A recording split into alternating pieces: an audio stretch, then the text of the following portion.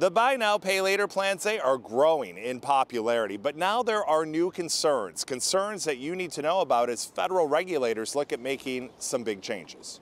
Buy now, pay later. Have you heard about it? If you haven't, you likely will soon. It's growing in popularity, but it's also gaining the attention of federal regulators, raising concerns from some economists. I think buy now, pay later should be more highly regulated. The services, which now allow you to pay for items in installments, could soon face stricter rules.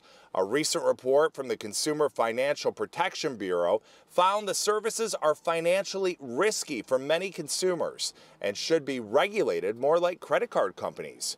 Economist Mark Zandi agrees and says those types of loans are often going to hard pressed, low income households. They're particularly vulnerable and, in many cases, don't have the same kind of financial understanding that they might need to be able to really evaluate whether this is a good good uh, arrangement for them or not. According to the report, Americans took out more than 24 billion dollars in loans on buy now, pay later programs in 2021.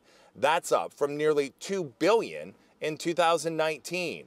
Financial experts warn you could rack up big debt if you can't afford to pay it back because the services encourage you to buy extravagant items that you previously wouldn't be able to afford. You're shopping online, you want a dress, you need a dress, but oh, you see this jacket, and oh, you see something else. The next thing you know, you spent more because you can pay it over time. Most buy now, pay later companies charge late fees or start charging interest if you don't make those payments right on time. And missed payments can lead them to freezing your account and your debt could be turned over to a debt collector, which could have a negative impact on your credit score. If you're not careful, you'll end up having a lot of these buy now, pay later contracts for stuff that you really don't need. Remember, it's always important to take a good look at all the information. Read the fine print before you sign up for any of these plans so you know exactly what you're getting yourself into.